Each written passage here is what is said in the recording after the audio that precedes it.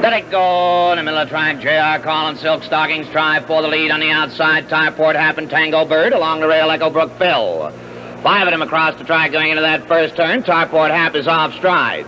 J.R. Call between horses has the lead a half length. Tango Bird three wide second. Silk Stockings between horses third. Echo Brook Phil along the rail fourth. That's Momentum uh, fifth. Golden Full on the outside sixth. Shirley's Bow seventh. Say No More eighth. Spirit Happy ninth. Tarport Hap back pacing tenth. They blister by the quarter 28 and one fifth. Into that paddock turn the first time the filly. Silk Stockings is now on top a length and a half. J.R. Call is second. Tango Bird parked out third. Echo Brook Phil along the rail fourth. Momentum fifth. That's Shirley's Bow sixth. Golden Fuller seventh. Say No More uh, eighth. Tarport Hap ninth. And Spirit Happy trails the field. They come to the half mile pole with Silk Stockings in command by a length. J.R. Call second. Echo Brook Phil under a snug hold third there by the half of 57 and four fifths. Into that clubhouse turn the uh, second time. Silk Stockings on top a length and a half. J.R. Call second.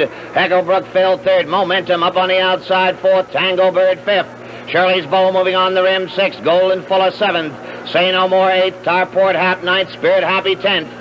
They leave the five eighths, go to the three quarters. Silk Stockings is on top a length and a half.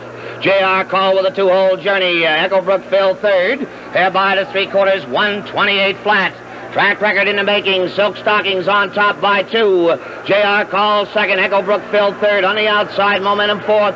Shirley's Bow looks for Racing Room fifth. They've got an eighth of a mile apace. Now they turn for home. Uh, the great filly skips away. Three lengths is a straight number to stretch. J.R. Call is second. Echo Brook Phil third. Through the lane is Silk Stockings in front and drawing away. Silk Stockings in front. Here's the finish. Silk Stockings wins it. Shirley's Bow on the outside is second.